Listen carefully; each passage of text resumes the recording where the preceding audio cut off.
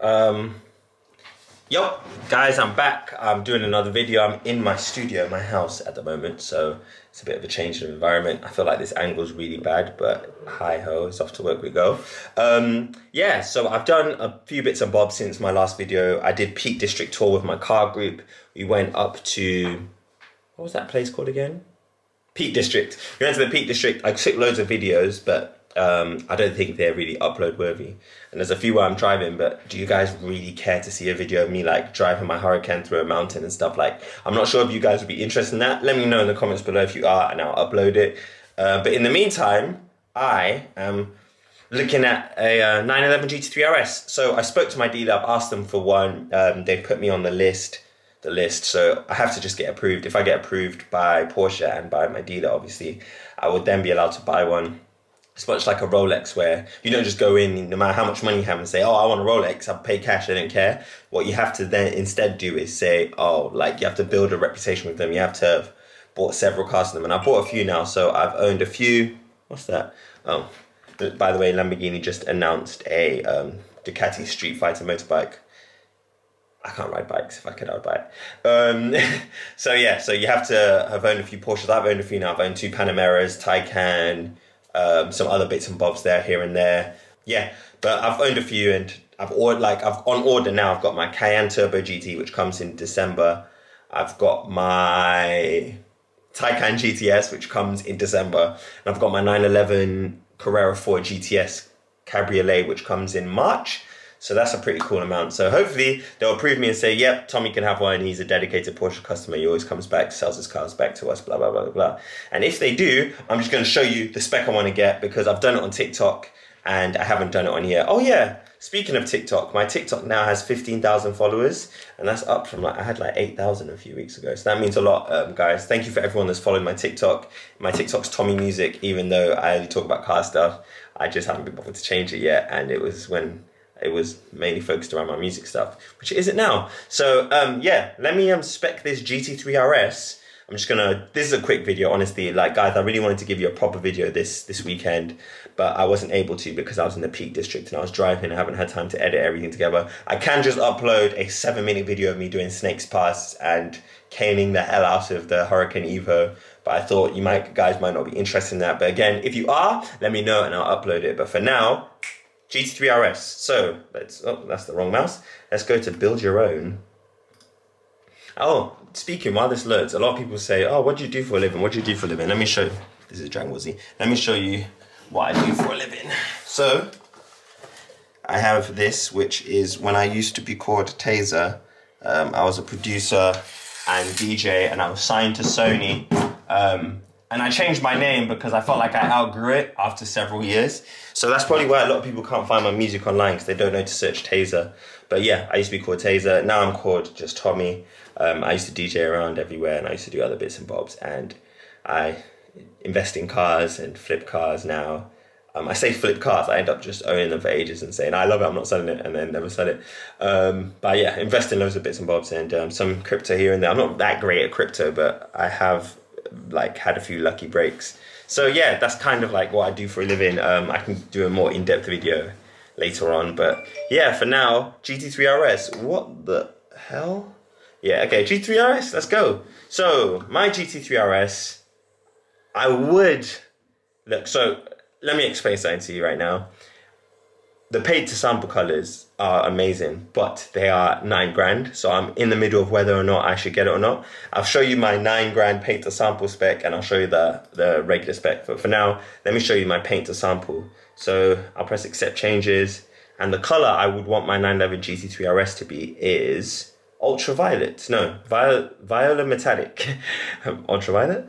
Um, basically, my friend Adrian has a GT3 RS, the 991.2 generation, and he has it in the same color, and it looks immaculate. So that is the color I'd go for.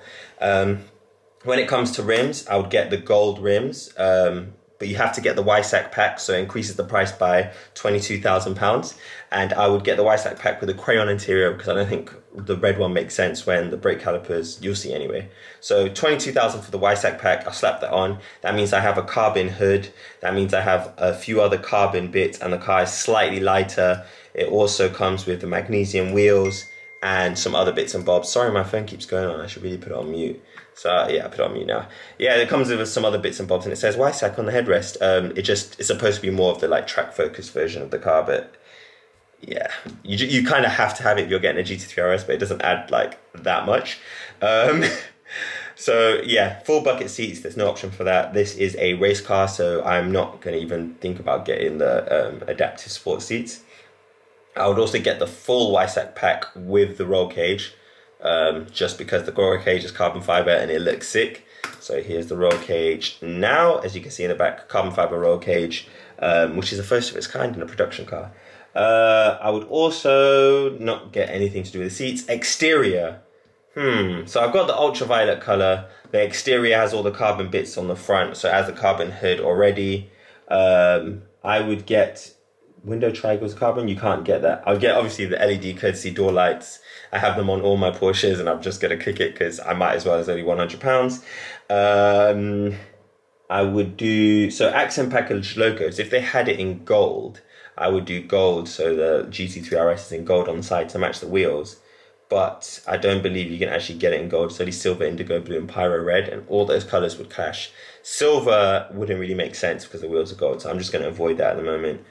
Uh, what else? Drivetrain to chassis, front axle lift. So that lifts the front nose when you're going over speed bumps. Need it because it is quite a low car, race car. So yeah. And composite brake system. So composite brakes are carbon ceramic brakes. They have a higher tolerance for heat, and they uh, that means you can use them over and over again without overheating and without them fading. So I would put that in the car because I will be taking this on track if the Porsche gods decide to bless me with one. I have faith in my dealer and I have faith in the universe that this will come to fruition. So yeah, I would get carbon ceramic brakes. Uh, I'll leave them in the yellow. That's why I didn't get the red uh, interior. So I would do that.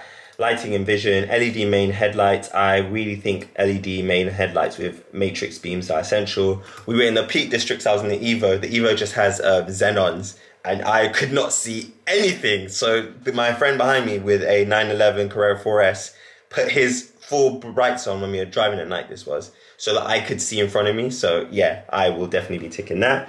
Um, exclusive design tail lights. So the exclusive design tail lights basically just black out the red and add some LED elements on the side. So I would also get that. Privacy glass. Uh, I don't think it's necessary, especially when this is like a track car. I don't really need tints on it, and the tints only do the side, so I don't think it's important. Park assist rear, including reversing camera, you need that for when you're parking, and you've got this big old spoiler in your way, so you will need that because otherwise you won't be able to see anything. Um, traffic sign recognition, don't need that. Home link, so it allows me to open my gate in my garage. I'll take that. Light design package, interior lights. This is really quick because it's like I just know I want everything. Seat heating you can't get with the buckets. I don't need that. Isofix you can't get, which is unfortunate. You know, you need you need that baby seat. Um, you can't get Isofix with the buckets either. Uh, passenger net and footwell isn't uh, isn't available when you have the Weissach pack for some reason, unless it just comes with it. So my seatbelts I would get in racing yellow because the brakes are racing yellow. Um, and that should look pretty cool and it should balance out the yellow on the middle of the steering wheel as well. I think it adds some life to the interior and it goes with the GT3 RS right there as well. Um, I would also probably get the dial in yellow rev counter in yellow. Let me see what that looks like. Oh, if that wants to load it doesn't want to load so let's just assume this is yellow. Um, sports chrono I'll get that in yellow as well so that is the chrono clock up here. See, that changes yellow, but this one didn't change yellow. That's so weird. Um, racing harness for passenger seat. I mean, oh, not possible. Okay, never mind. Um, interior race tech, sun visors, don't need them in race techs. Belt outlays, don't need it in race techs. Belt outlet, it trims in race techs. That is where the seatbelts come out the top. Don't need that in race techs. And these are quite expensive, so I don't see the point. Storage compartment with Porsche logo why not? I've always wanted a Porsche logo on my storage compartment. Uh, da, da, da, interior carbon, illuminated door seal guards in matte carbon. Why not? They're only £294. Audio communication, Bose surround sound system. You need that. You need a little bit of Bose in your life. You know, when you're going on a track, you need to listen to them tunes. Um, I'm being sarcastic, by the way. I wouldn't do that. So um, yeah, it's pretty straightforward with this car. It just tick everything you flipping can. Um, uh, this is my ideal spec. I mean, I spoke to my wife and she's not really a fan. She actually preferred. I don't know why I've zoomed in so much. She actually preferred ice grey metallic, which is nine thousand pound cheaper. So I might do that if um, the option is possible. Um, that actually looks really good. It looks ice grey metallic is a nice color. Here it looks um, silver. Let me see if I can ice grey metallic. So this is what ice. Oh, I missed out ice grey metallic. This is what ice grey metallic looks like um, in real life. So it's like a white, really, really metallic white. Um, so I, I don't mind getting it in that color. To be fair, it's a nice in between between silver and white, and it doesn't cost ten thousand pounds to option. So yeah, I might get that. Um, but yeah, this is my spec. Um, a little bit of info on the GT3 RS. So the GT3 RS is an improved version of the GT3. It's a more track focused version. This car now has a ton of aero, as you can see by the huge wing on the back, um, the disgustingly huge wing. Uh, the, it's got every panel on the car is new, um, from what I understand. Uh, the doors are even new as well because there's an aerodynamic element that flows from the door from the wheel arch to the door to reduce drag and reduce turbulent air. Um, the car also has a front duct system to channel airflow through the radiators at the front. So now there's three radiators instead of one on this 911, and that allows the ejection of hot air out of the hood. Um, which also improves airflow as well, and it means you haven't got a boot, so I wouldn't be able to go anywhere with this car overnight because I won't be able to store anything unless I put it behind. But then I've got this big old roll cage, so that wouldn't work either. Um, I sound like I don't want this car. I really want it. Um, I'm super excited. Um, yeah, it's got aerodynamic elements all over it, even on the roof. Um, all the aero is functional. On the interior of the car, what they've changed is you now have four dials that allow you to change things like the um, rebound and the compression of the shocks on the fly, which is a first for a road car. And you can also change the differential um, percentage for entry and corner exit, which is really, really cool. I'm a person that I like to fiddle with all that kind of things, especially when I'm driving on, for example, simulators I'm always shifting my differential because each corner has a different um, uh, each corner has a different characteristic for diff, um, corner entry and exit. So if you can shift the amount of power that the car sends into either wheel on this on the rear um, axle, um, it can really change your lap time throughout the corners and throughout the track. So um, yeah, that'd be really cool, and that's something I would definitely be using when I'm driving, especially on track.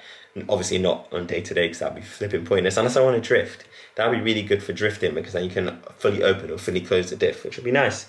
Um, and suspension stuff is cool as well because it means you can dial it in without having to just go through Porsche's comfort, sport, and sport plus settings. Um, the improvement of the car, 515 horsepower, not that much horsepower over the GT3, but um, the gearbox ratio is shorter, so it should accelerate a bit faster and it should be a bit more snappy through the gears and in and out of corners, which will is a track focused car. It's not as fast as a GT3. It's not as fast as the Turbo S. It's not supposed to be. It's supposed to be fast around the track, which it will be. Um, this is probably one of the fastest cars you can buy. A lot of people have been asking me what I think the Nurburgring time of this car will be, and I told them straight up, it's not beating the GT2 RS. It's impossible. The Nurburgring is a very power power dependent track. Um, there's a very long straight on the Nurburgring. The GT3 RS, the GT2 RS, sorry, has about 700 horsepower and it flies. It has two turbos as well. So this car won't be able to eat that, but around the corners, I think they'll be quite similar. So I'm thinking this car will probably be, um, hmm, I think it'll be below the Huracan Performante, but it will probably be maybe 10 seconds quicker than the GT3. Let me just check if that makes sense, because that might not make sense. So the 9, the 911 GT3, the 992, has a 655. So, hmm, I reckon this is going to be about a 652. I think this car would be actually. Hmm, actually, no, it'll be probably be quicker than that. I think this is going to be like in the 640s. I think this will be a 645 ish, maybe? 646. I think it's going to be a bit quicker than the GT3. It's not going to be as quick as the GT2 RS, which is a 638 with the Manthey Racing pack on it. It'll be interesting to see. I mean, I'm not a sidekick. It's not going to be quicker than the GT2 RS. It's not going to be the new record ring holder. That is impossible. But it will do well, and I'm hoping I get one. My dealer, Porsche Centre Swindon, they're really rooting for me to get one. Um, and I even said to people on my TikTok, go onto their page and say, please give Tomi a a GT3 RS. Um, so hopefully they give me one. If they don't, this was a waste of your time. It was a waste of my time. But I'm manifesting it. I think this is going to happen. I mean, I'll take it white. I'll take it red. I'll take it blue. I'll, I'll take it whatever color. I just want the car because this is a car I'll just keep and just drive. Uh, I'll drive the wheels off this, as you know from my other cars. But thank you very much for watching. Um, sorry that again this was another um, my spec for this car and it wasn't a like actual doing thing. But tomorrow I'm going to Salon Privé, which is today for you because it's Saturday. So yeah, uh, hope you enjoyed the video and I won't waste any more of your time. Follow me on TikTok with at Tomi Music, like and subscribe to my channel. I did this in one take, so please put some respect on my name. Um, catch you guys later. Bye.